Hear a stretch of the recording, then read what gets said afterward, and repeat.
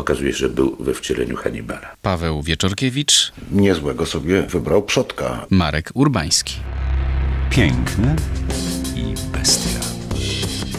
George Smith Patton, generał amerykański, absolwent Akademii Wojskowej West Point. W czasie II wojny światowej brał udział w operacji lądowania w Normandii, powstrzymał Niemców w Ardenach, sforsował z marszu Ren, walczył również w Austrii i Czechosłowacji. Nie bardzo lubię generałów amerykańskich, ale to jest absolutny wyjątek. To rozkoszny człowiek pod każdym względem. Nazywano go krew i flaki, ponieważ był niezwykle przebojowym dowódcą frontowym. Przy tym reprezentant Stanów Zjednoczonych w pięcioboju, nowoczesnym, wybitny sportowiec, przy tym głęboki intelektualista, człowiek, który przy tych wszystkich barwnych cechach wierzył jeszcze w reinkarnację dusz. W filmie biograficznym, który ostatnio wznawiała telewizja, jest taka scena i scena prawdziwa. Kiedy na poważnej naradzie sztabowej pada pytanie, jak rozgrywać kampanię sycylijską, Patton z niezmąconą powagą mówi, że on to rozegra tak i tak, ponieważ był tutaj już 2000 lat temu. Okazuje się, że był we wcieleniu Hannibala. Niezłego sobie wybrał przodka. Astralnego powiedziałbym, ale rzeczywiście postać to jest niewątpliwie barwna, bardzo filmowa i zresztą wiele razy filmowana w takich czy innych konwencjach. Prawda?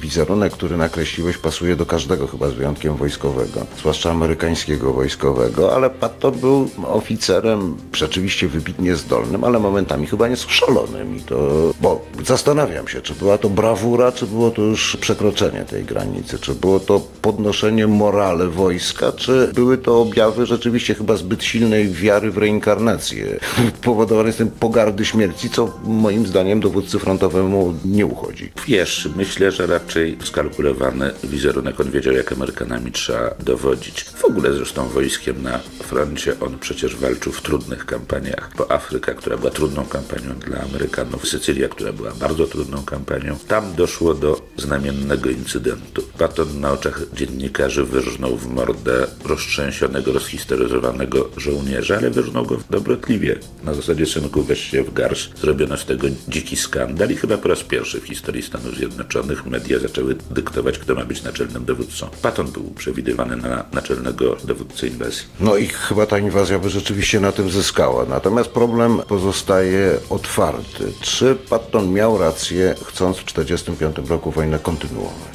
No, na pewno miał rację chcąc iść na Berlin. Były wszelkie możliwości wzięcia Berlina. Patton by go wziął gdzieś w kwietniu, prawdopodobnie może nawet w końcu marca. Inaczej mogłyby wyglądać przetargi ze Tak, ale on Stalinem. chyba jeszcze trochę dalej chciał pójść i to przyznam szczerze, że mimo, że wydaje mi się trochę to postać cudaczna, to w tym wypadku no, byłbym jak najbardziej po jego stronie. Tę wojnę chyba trzeba było kontynuować. No, czyli Patton w Berlinie, a potem generał Anders na białym koniu No może nie generał Anders, może nie na białym koniu, ale może bomba jądrowa niekoniecznie w Hiroshimie i Nagasaki. Inna wizja świata wobec Tak, zupełnie inna wizja Jeden świata. generał, inna wizja świata. Piękny i bestia.